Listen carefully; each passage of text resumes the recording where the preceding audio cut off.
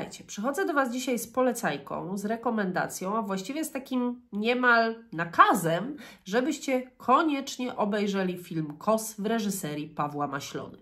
Film Kos to historia Tadeusza Kościuszki, a właściwie nie, to nieprawda. To nie jest historia Tadeusza Kościuszki i to nie jest film o Tadeuszu Kościuszce. To jest film o Polakach, o Polakach dawnych i o Polakach bardzo, bardzo współczesnych. E, film, żeby nakreślić Wam tło historyczne, bo to właściwie istotne, dlatego że ten film odpowiada na pewne bardzo ważne pytanie, które za chwilę Wam zadam.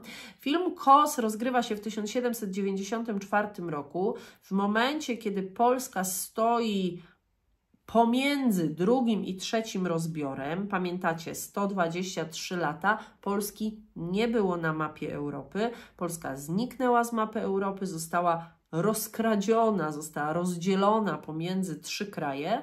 No i przez bardzo długi okres jakby no, no nie istnieliśmy jako państwo, istnieliśmy jako naród, ale jakby terytorialnie naszego państwa nie było.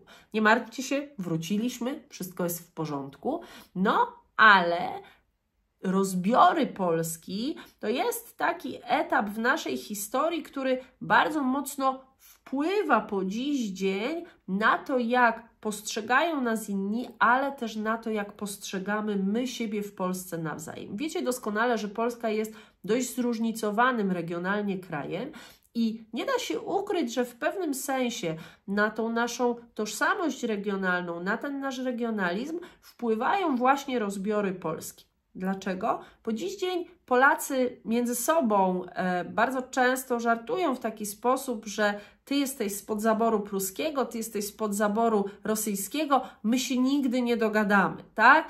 My jesteśmy zupełnie inni. Nasza tożsamość, nasza mentalność została zupełnie inaczej ukształtowana. Więc jest to, słuchajcie, taki element, o którym nie da się zapomnieć, którego nie da się powiedzieć, był, minął i, i właściwie nie ma ze współczesnością nic wspólnego. To jeden z tych etapów w historii Polski, które są bardzo, bardzo silnie związane z taką naszą właśnie tożsamością, mentalnością, z tym, jacy są Polacy. A zatem, jeśli chcecie poznać Polaka, jeśli chcecie się dowiedzieć, jak się z nim dogadać, to sprawdźcie, pod jakim był zaborem, ten teren, na którym mieszka, pod jaki był zaborem.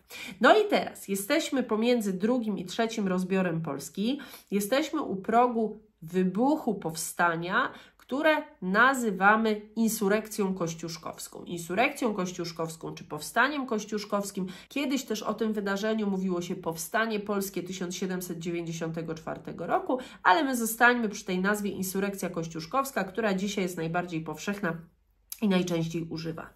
No więc uwaga. Ze Stanów Zjednoczonych wraca polski bohater narodowy Tadeusz Kościuszko. Rozbiory, bardzo ważny element historii Polski. Tadeusz Kościuszko szalenie ważna dla Polaków postać. Taka ikoniczna, legendarna. No i ten Kościuszko wraca, słuchajcie, ze Stanów, e, no i ma właśnie stanąć na czele powstania, ma stanąć na czele tej insurekcji, e, ma stanąć na czele powstania zbrojnego przeciwko Prusom i Rosji.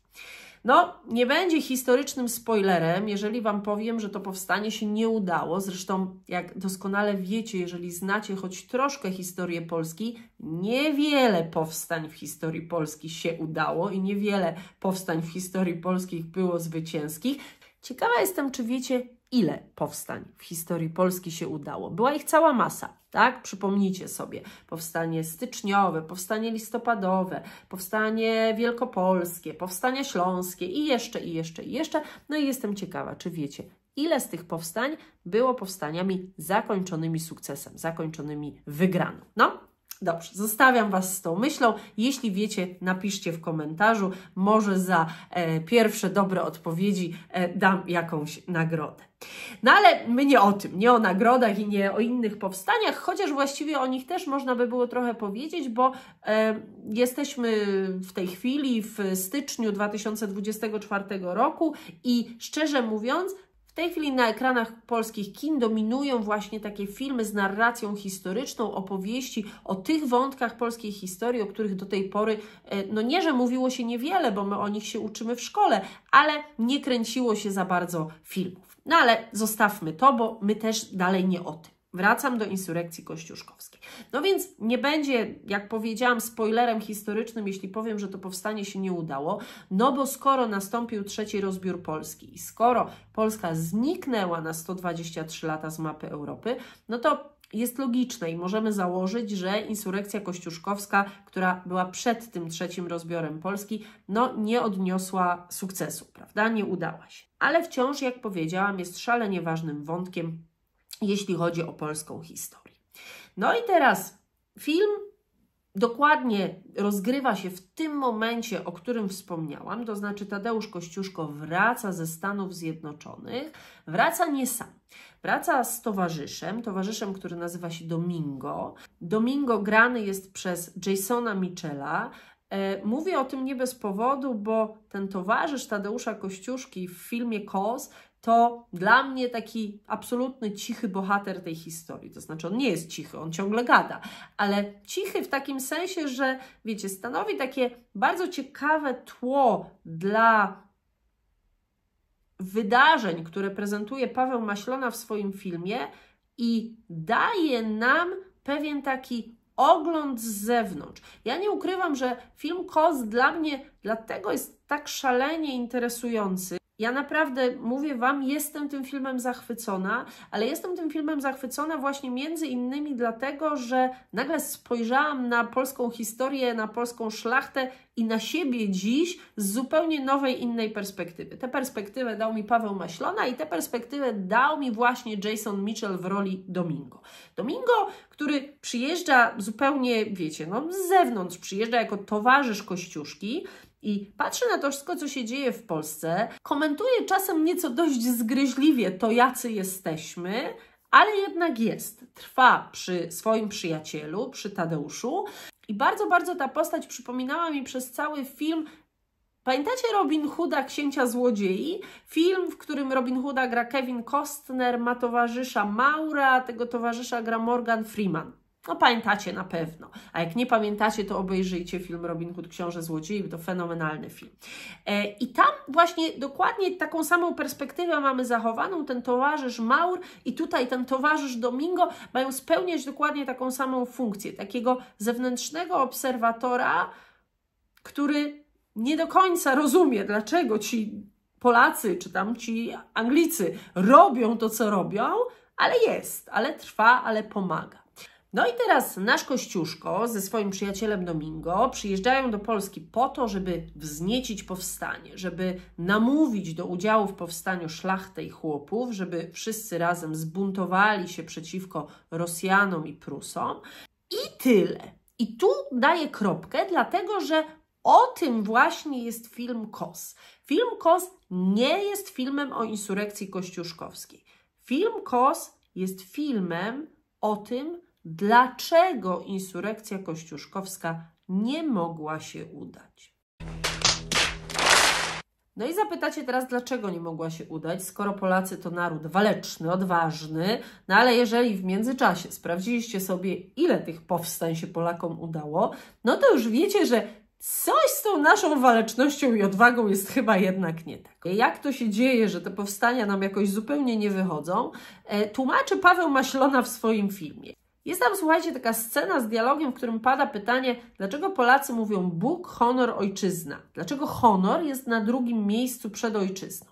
No i teraz, jeżeli razem z bohaterami filmu KOS zaczniemy się przypatrywać temu stwierdzeniu, no to tak, patrzymy na pierwsze miejsce, na pierwszym miejscu Polacy stawiają Boga. No i jasne, z Bogiem się nie dyskutuje. Jeżeli taka jest wola boska, to tak oczywiście musi być. No ale właśnie, potem idzie honor, a potem idzie ojczyzna. No i bohaterowie filmu KOS tłumaczą to świetnie. Mówią, że dlatego, że Polak zawsze na pierwszym miejscu postawi siebie, postawi swój bardzo często źle pojęty honor, e, postawi udowodnienie swojej racji, postawi udowodnienie, że jest lepszy i ważniejszy od innych. Tu jest ten klucz, bo tutaj dojdziemy zaraz do sedna sprawy, czyli do tego, jaka naprawdę była polska szlachta. Na pierwszym miejscu postawi udowodnienie tego, że to on tutaj rządzi i że to on wie, jak to powinno być. Potem dopiero w następnej kolejności idzie ojczyzna, tak, o którą trzeba walczyć. No ale właśnie, jeżeli e, ten źle pojęty honor, prawda, wygrywa z walką o wolność, z walką o ojczyznę, no to potem kończy się to wszystko tak mniej więcej jak skończyła się insurekcja kościuszkowska. Powiedziałam przed chwilką, że film Kos jest też z całą pewnością kluczem do zrozumienia tego, jaka była polska szlachta. My wychowywani jesteśmy bardzo często w takim kulcie szlacheckim, w takim kulcie polskiej szlachty. E, jakie to były wspaniałe czasy, jakie to były piękne czasy. E, podczas kiedy film Pawła Maślony mówi do nas troszeczkę inaczej. Mówi do nas tak, słuchajcie, ta szlachta to nie była wcale taka fajna, no i mm, niby wy wiecie, bo Wam powiedzieliśmy w szkole, że ta szlachta to miała chłopów i tych chłopów to tak nie za dobrze traktowała, no ale nie za dobrze to nie znaczy też przecież wcale tak źle, więc w sumie to ci szlachcice się ładnie ubierali, byli bogaci i w ogóle to byli całkiem fajni.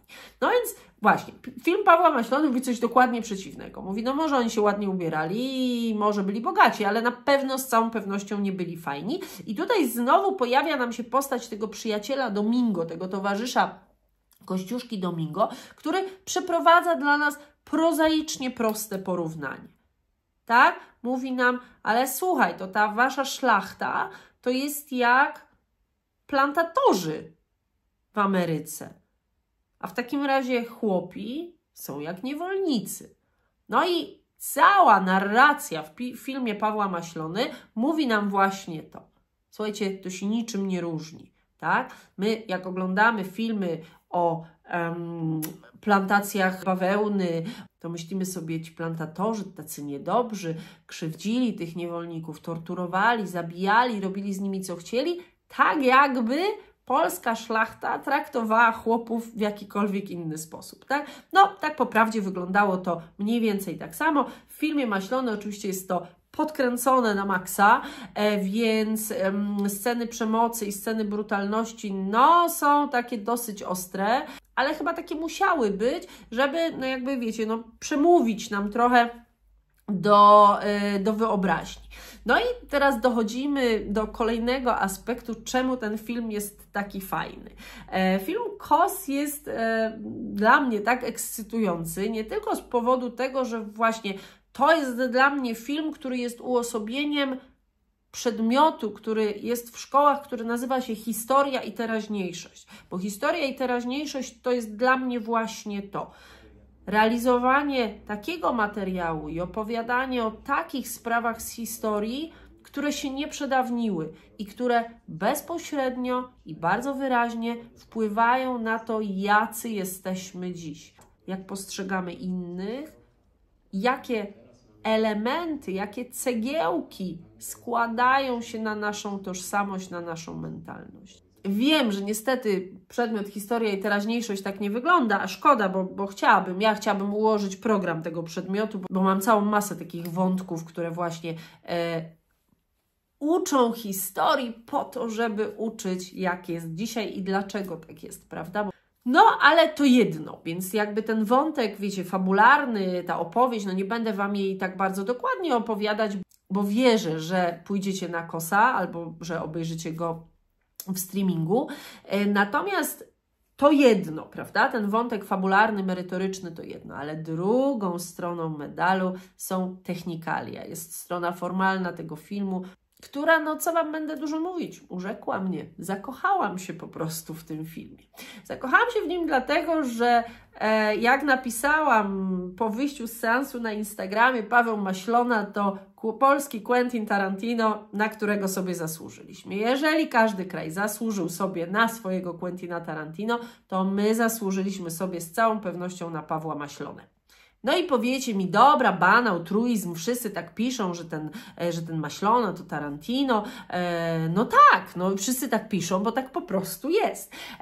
Bardzo wyraźne w filmie KOS są inspiracje i nawiązania do filmu Nienawistna ósemka. Zresztą e, no, mam wrażenie, że Maślona tego w żaden sposób nie ukrywa, prawda? E, no, zobaczcie sobie plakat do filmu KOS. Nie wiem, czy tutaj reżyser miał na niego jakiś wpływ, czy to jednak dystrybutor i producenci, no ale nawet jeśli tylko dystrybutor i producenci, no to oni też zobaczyli w kosie nienawistną ósemkę. Porównajcie te plakaty. No przecież to tutaj jakby mm, samo się nam nasuwa, prawda, do głowy. Natomiast dla mnie y, nienawistna ósemka jest oczywiście takim ewidentnym, formalnym sznureczkiem, po którym idzie Paweł Maślona, ale, ale, ale e, dla mnie jeszcze takim bardzo ważnym elementem, bardzo ważnym filmem jest, są na pewno Bękarty Wojny. Pamiętacie w Bękartach Wojny tę scenę, która rozgrywa się w barze.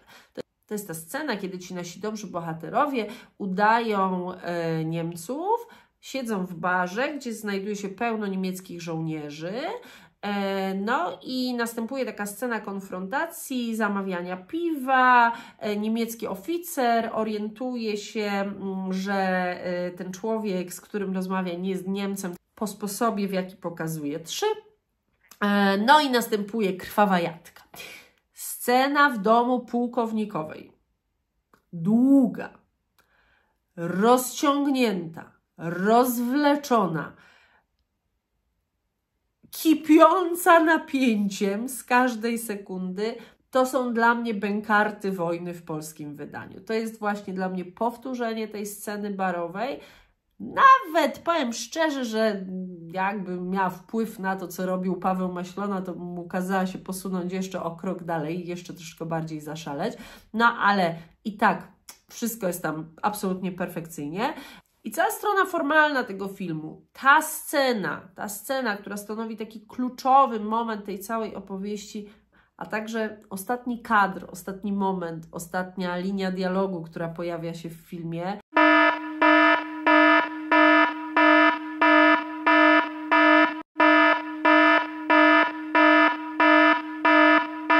która urzekła mnie absolutnie, urzeknie też Was, obiecuję. I to jest kolejny dowód na to, że w Polsce można robić fenomenalne filmy, że nie trzeba iść po utartej linii ani fabularnej, ani formalnej, żeby zrobić doskonały film. E, no, tutaj trzeba też oczywiście oddać honor y, aktorom, którzy zagrali w tym filmie, bo to wszystko, co zrobił Paweł Maślona z nieodpowiednią obsadą, no chyba by się jednak nie udało. Tak, tutaj to jak grają aktorzy, to w jaki sposób, to w jaki sposób wcielają się w swoje role, to wszystko jednak tutaj dokłada kolejne cegiełki, kolejne grosiki, kolejne elementy do całościowego obrazu tego filmu.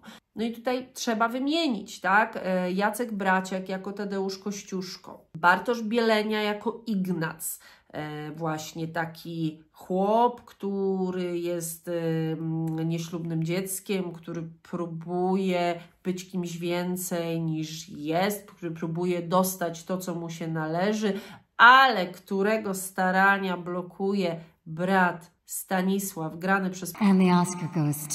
Piotra Packa.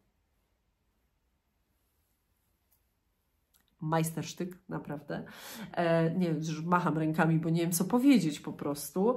Do tego fenomenalny, jak zawsze, Robert Więckiewicz, tutaj w roli rotmistrza Iwana, no i Agnieszka Grochowska w roli pani pułkownikowej. Słuchajcie, tu wszystko gra. To jest film, w którym każda sekunda, każdy moment, każdy element składa się na coś naprawdę świetnego, Wiem, czytałam jakieś recenzje, że to jest nudny film. No, Nienawistna ósemka też jest nudnym filmem z tej perspektywy. To jest film, który daje mi Tadeusza Kościuszkę, który daje nam Tadeusza Kościuszkę, którego wszyscy potrzebowaliśmy. To jest to, czego zabrakło Napoleonowi Ridleya Scotta. W mojej opinii, bo wasza oczywiście może być zupełnie inna i na temat jednego i drugiego filmu. Paweł Maślona nakręcił kiedyś, słuchajcie, taki film, który nazywał się Atak Paniki. Strasznie nie lubię tego filmu, dlatego że to było dla mnie gigantyczne rozczarowanie. Ja się na ten film bardzo, bardzo cieszyłam, bo to miała być taka polska odpowiedź na argentyńskie dzikie historie. Dzikie historie, film składający się tak z takich poszczególnych opowiastek o tym, co się dzieje, kiedy ludziom puszczają nerwy, tak totalnie puszczają nerwy, kiedy, kiedy już nie, nie chcą sobie dalej radzić e, z, z, ze swoimi problemami i ze swoim życiem. I atak paniki miał być dla mnie taką, tak, no, miał być taką odpowiedzią na dzikich historię. I dla mnie Atak Paniki się zupełnie nie udał. Atak Paniki był takim filmem rozwrzeszczanym, rozkrzyczanym niepotrzebnie, za dużo przekleństw y, i był takim, no właśnie, chyba miałam wrażenie, że w trakcie tworzenia tego filmu ktoś dostał ataku paniki i coś tam się nie poskładało. Tym, czym miał być atak paniki, jest z całą pewnością film Kos. Jest film o Tadeuszu Kościuszce, jest film o Polakach, film szalenie brutalny, na to zwracam Waszą uwagę. Nie idźcie na ten film z małymi dziećmi, bo na ekranie w największym uproszczeniu zobaczycie Azję Tuchajbejowicza, który jest nabijany na pal w wydaniu Quentina Tarantino. No, dzieje się tam, słuchajcie. Kilka razy ja nawet odwróciłam wzrok od ekranu i jak powiedziała moja mama, to już znaczy, że było źle. Jeżeli ja musiałam się odwrócić, to znaczy, że było kiepsko. E, więc na to Miejcie proszę wzgląd, tym bardziej, że film KOS oczywiście pojawia się już w przestrzeni internetowej jako podstawa do e, lekcji, podstawa do spotkań edukacyjnych. Ja tu popatruję w dół, bo mam tu na kolanach komputer, a na nim otworzone mm, scenariusze lekcji, e, które znajdziecie na stronie Film w Szkole. Zachęcam Was do zajrzenia na tą stronę, bo tam rzeczywiście masa fajnych rzeczy. No i tutaj właśnie dwa scenariusze mm, do filmu KOS, do takiej alternatywnej lekcji historii. No więc zważywszy na to, że ten film pojawia się w kontekstach edukacyjnych, co mi się zresztą w jednym z tych scenariuszy nie spodobało, tam jest takie zadanie wciel się w polską szlachtę. No właśnie, w kontekście tego, jak ta szlachta jest w filmie KOS pokazywana, nie wydaje mi się, żeby e, to był dobry pomysł, wiecie, no, wcielać się w tak negatywnego bohatera zbiorowego, bo on jest no, takim szalenie negatywnym bohaterem zbiorowym, jest ta szlachta, no ale też nie analizowałam tego aż tak bardzo uważnie póki co, e, więc oczywiście przy odpowiednim wprowadzeniu, przy, przy, przy odpowiednim poprowadzeniu tego zadania być może, chociaż no mówię, ja nie, nie jestem fanem wcielania się w e, role negatywne, e, no ale skoro ten film pojawia się w kontekstach dydaktycznych, edukacyjnych, jak powiedziałam, to bardzo proszę miejcie na uwadze jakby brutalność tego filmu i ja wiem, że możecie mi powiedzieć, że nasze dzieci oglądają gorsze rzeczy, oglądają straszniejsze rzeczy, oglądają Stranger Things na Netflixie i Dom z papieru. E, to prawda, ale z drugiej strony my jako rodzice, nauczyciele, edukatorzy jesteśmy też od tego, żeby dbać o to, żeby do dzieci docierały przekazy odpowiednie dla ich poziomu rozwojowego. A więc no, to, że dziecko pokryjomu ogląda coś, co, co, czego poglądać nie powinno, e, no to jest jedno, a to, czy co my serwujemy własnym dzieciom i w jaki sposób e, z nimi pracujemy nad tymi przekazami, to jest oczywiście drugie, więc bierzcie pod uwagę bardzo proszę tę brutalność. To też dla dorosłych taka przestroga, jeśli ktoś ma problem z krwawością na ekranie, no to kos może, może być trudny, może być momentami trudny w odbiorze. Natomiast ja chciałabym namówić Was do jeszcze jednej rzeczy, bo wydaje mi się, że kos no, jest właśnie taką dobrą podstawą do dyskusji o relacjach szlachty i chłopstwa, o naszej właśnie szlacheckiej mentalności, e, o tym, dlaczego honor jest przed ojczyzną, ale w związku z tym chciałabym namówić Was do sięgnięcia po książkę, po tę książkę. E, to jest książka książka Kultura Polska Silvarerum. E, książka, w której znajdziecie bardzo różne rzeczy w bardzo takiej popularnej odsłonie i jeden z rozdziałów, mianowicie rozdział czwarty, e, to rozdział Kultura szlachecka w Polsce. Być może to jest jakiś fajny wątek, żeby, żeby wykorzystać na lekcji. Ten rozdział zresztą został napisany przez Piotra Wilczka, który kiedyś był pracownikiem Uniwersytetu Śląskiego, a dziś jest ambasadorem Rzeczpospolitej Polskiej w Wielkiej Brytanii. Wcześniej był ambasadorem Polski e, w Stanach Zjednoczonych Zjednoczonych, więc no też jakiś taki fajny wątek, nie? Ciekawy, żeby pokazać, że jak się mogą e, drogi życiowe człowieka potoczyć. No i coś może prostszego, e, ta książka z kolei, Niecodzienny Polski. E, obie książki do pobrania za darmo ze strony www.polskapółkafilmowa.pl, więc zachęcam. I tutaj z kolei rozdział Historia, strona 54, zerkam sobie tu razem z Wami, no to właśnie znowu taki króciutki, bardzo króciutki tekst o szlachcie to pokazuje, bo to jest książka przeznaczona do pracy przede wszystkim z cudzoziemcami, więc jeśli właśnie ten film KOS chcielibyście z cudzoziemcami oglądać, to błagam, Zróbcie do tego odpowiednie wprowadzenie, bo to nie jest film, z którego łatwo jest dowiedzieć się czegoś o historii Polski. Ten film potrzebuje naprawdę solidnej opowieści, zresztą nie tylko dla cudzoziemców. Jak idziecie z polskimi dziećmi, to, to też zróbcie to samo. Naprawdę solidna, porządna opowieść o tym, kim był Kościuszko, co to jest insurekcja kościuszkowska, na czym polegały rozbiory, e, no i właśnie, i, i, i o co w tym wszystkim chodziło, bo tego z filmu do końca się nie dowiecie. To znaczy, jest to tam oczywiście wyłożone, ale mam wrażenie, że jednak e, w dużej mierze wyłożone jest tak, że zrozumie przede wszystkim ten, który wie. Ten, który całkiem nic nie wie, może mieć z tym jakiś tam drobny problem. E, no i to byłyby te dwie rzeczy, tak? Czyli kultura polska, niecodzienny polski tutaj takie wątki e, właśnie szlacheckie, które można by, które można by na lekcji wykorzystać. Na pewno porządna prelekcja, jak powiedzieliśmy. No i w ogóle ten film, wiecie, no ma dużo takiego kontekstu dydaktycznego, bo e, przecież ten Domingo, o którym wspomniałam na samym początku, on zaprzyjaźnia się z tym naszym Ignacem granym przez Bartosza Bielenie i to jest bardzo ciekawy wątek, bo ten Domingo, słuchajcie, mówi tylko po angielsku, a Ignac oczywiście mówi tylko po polsku, no bo po jakiemu miałby mówić e, i oni się ze sobą dogadują, dogadują się ze sobą na migi, e, oni są jakby dowodem na to, e, o co bardzo często pytają studenci początkujący, kiedy przychodzą na pierwszą lekcję języka polskiego, a w jakim języku my się tu będziemy uczyć? No w jakim języku można się uczyć języka polskiego? No tylko po polsku.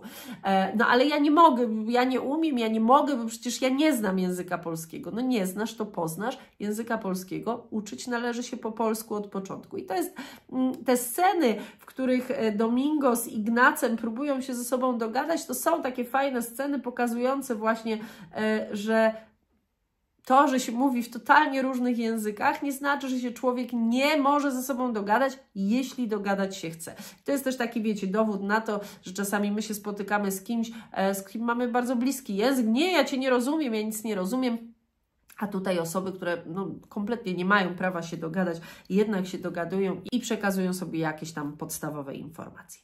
Nie wiem, słuchajcie, chaotyczna była ta opowieść, mam takie poczucie, ale to może dlatego, że ja jestem ciągle pod jakimś takim wielkim wpływem e, filmu Pawła Maślony. E, panie Pawle, ja Panu wielkie ukłony tutaj z tego miejsca składam. Bardzo, bardzo jest mi miło, że Pan zechciał nakręcić nam taki film, bo jak mówię, uważam, że jest to film e, o Tadeuszu Kościuszce, którego wszyscy, wszyscy potrzebowaliśmy i e, myślę, że wbrew temu, co pisze wielu, wielu tych, którzy zachwycają się serialem Netflixa 1670, który jest serialem oczywiście superowym i świetnym, ale myślę, że jednak nieuprawnione jest nazywanie go w tej chwili serialem kultowym. Myślę, że jest bardzo efemeryczny, ulotny e, i bardzo szybko jakby wywietrzeje z głów nam a dla osób nie bardzo zaznajomionych z kulturą polską jest szalenie niezrozumiały, no to myślę, że właśnie w przeciwieństwie do serialu 1670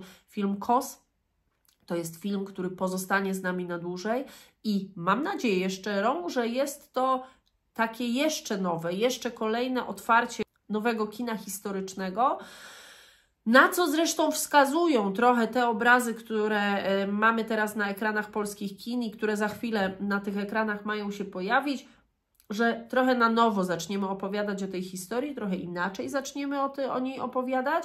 No i chyba to jest ten styl, który będzie mi się podobał. To jest ta narracja historyczna, którą będę, mm, którą będę lubiła, e, no i którą będę chciała pokazywać swoim studentom i uczniom. Mam nadzieję, że Wy też, no i jeśli nie jesteście nauczycielami, to mam nadzieję, że zechcecie obejrzeć film KOS. Zróbcie to koniecznie w ten weekend, a jeśli oglądacie mnie za kilka tygodni albo kilka miesięcy, to zróbcie to koniecznie w streamingu, bo to jest film, o którym powinno się mówić, o którym powinno się rozmawiać i rozmawiajcie i Wy. Trzymajcie się, cześć, do usłyszenia, do zobaczenia w następnym odcinku Polskiej Półki Filmowej. Już Was nie zatrzymuję i idźcie oglądać Kosa. Pamiętajcie, że różne ciekawostki związane z językiem i kulturą polską znajdziecie także w serwisie Facebook i Instagram oraz w innych filmach Polskiej Półki Filmowej. A jeśli chcecie wspomóc działanie kanału Polska Półka Filmowa, zajrzyjcie do serwisów Buy Coffee 2 albo Buy Me Coffee. Dzięki Waszemu wsparciu mogę robić jeszcze więcej.